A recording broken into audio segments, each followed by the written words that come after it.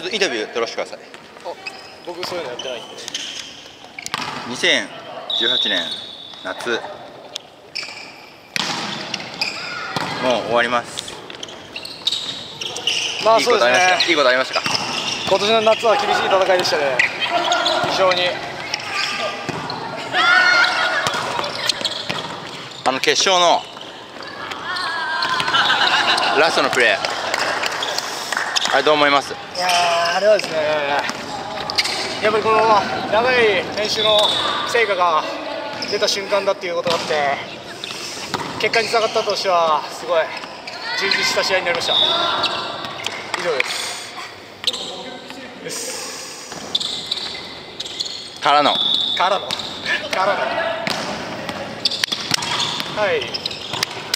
はい。盆踊りやめてもらっていいですか？ちょっとやめてもらっていいですか？やめろよ！